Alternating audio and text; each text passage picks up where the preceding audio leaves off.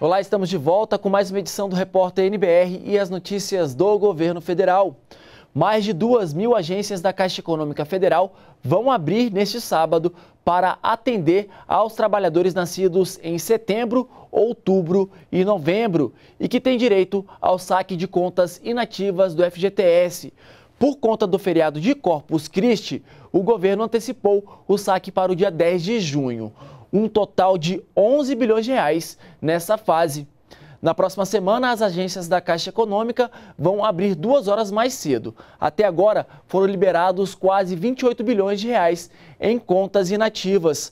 O anúncio foi feito agora há pouco pelo presidente da Caixa, Gilberto Ock. O nosso balanço é um balanço extremamente positivo, medida adotada pelo presidente Temer através da medida provisória já aprovada é, pelo Congresso, que era é, ela vencia na semana passada e ela foi aprovada pelo Congresso Nacional, Câmara e Senado.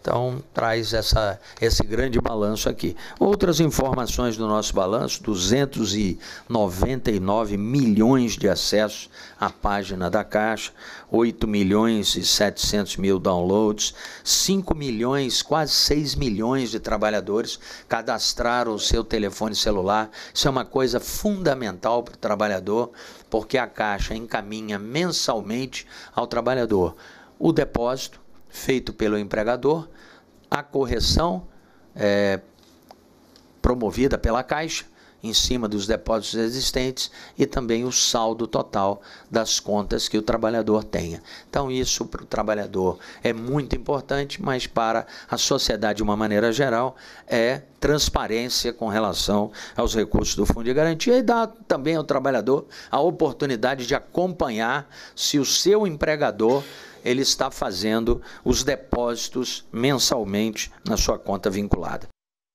Os 28 bilhões de reais liberados até agora em contas inativas do FGTS representam mais de 95% do total inicialmente previsto pelo governo. O combate, agora a gente vai falar sobre o combate aos crimes transnacionais. Esse é o objetivo da nova fase do Plano Nacional de Segurança Pública, que foi anunciada no Palácio do Planalto. E é para lá que a gente vai agora conversar com o repórter João Pedro Neto, que traz as informações para a gente. Oi, João Pedro. Leandro, exatamente. Olha, a ideia é combater crimes como tráfico de drogas, tráfico de armas e de pessoas, além, por exemplo, do contrabando. O anúncio dessa nova fase do Plano Nacional de Segurança Pública foi feito ontem durante uma reunião aqui no Palácio do Planalto que teve a participação do presidente Michel Temer. As operações desse plano estão previstas para serem realizadas ao longo dos próximos 18 meses. Vamos ver os detalhes, então, na reportagem de Luana Karen. O Plano Nacional de Segurança Pública entrou em nova fase e vai começar a ser posto em prática de forma mais sistematizada na cidade do Rio de Janeiro. O anúncio foi feito pelo presidente Michel Temer durante reunião com o governador do Rio, Luiz Fernando Pezão, com o prefeito da cidade do Rio de Janeiro, Marcelo Crivella, e com deputados federais, estaduais e autoridades cariocas. Nós vamos começar as experiências nas várias cidades brasileiras com uma, digamos, uma, uma, uma não uma interferência, mas uma produção eh, operacional mais intensa em cada estado, em cada cidade brasileira. Muito planejado para fazer operações eh, na cidade, inicialmente na cidade do Rio de Janeiro. A ideia do plano é agir sobre a estrutura do crime organizado para desarmar, reduzir a letalidade e seguir a rota do dinheiro movimentado pelo tráfico de drogas, de armas, pelo contrabando e o tráfico de pessoas. Os quatro crimes considerados pelo governo como transnacionais, ou seja, cometidos em parceria com criminosos de países que fazem fronteira com o Brasil. O que a União pretende fazer é atuarmos em dois eixos principais: segurança pública e desenvolvimento social. Na segurança pública, eu posso lhes dar alguns exemplos: segurança de fronteira, já estamos trabalhando. Integração com os países lindeiros, já estamos trabalhando. Controle de rodovias federais será intensificado pelo Ministério da Justiça. Controle de portos, terminais, de responsabilidade da União, já estamos trabalhando e outras atividades que são competência da União. Na área social, as competências da União são definidas pelos vários ministérios da área social. As operações do Plano Nacional de Segurança Pública estão previstas para ocorrerem pelos próximos 18 meses.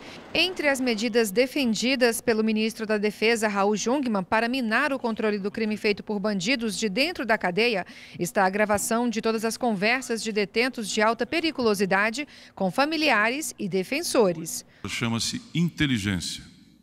Ir ao comando do crime, chegar à cadeia de comando do crime que sabem os senhores e senhoras se encontram em grande medida dentro das próprias penitenciárias e presídios e daí para fora. Na reunião com o presidente Michel Temer, também foi apresentada a estratégia de atuação das Forças Armadas na fronteira do país, que vai contar com a instalação de radares móveis e veículos aéreos não tripulados para criar corredores de entrada no espaço aéreo brasileiro. A medida deve forçar a identificação de qualquer aeronave que entre no Brasil. Ao estabelecer corredores e obrigar a que todas as aeronaves, porque serão monitoradas, entrem nesses corredores, elas têm que se identificar para entrar no corredor.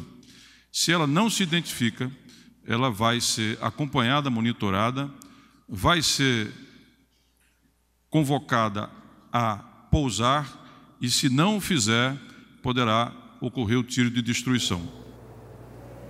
Bom, falando agora da agenda presidencial, o presidente Michel Temer segue cumprindo a agenda aqui no Palácio do Planalto. Ele está reunido nesse momento com o presidente do Banco Central, o presidente Ilan Goldfein.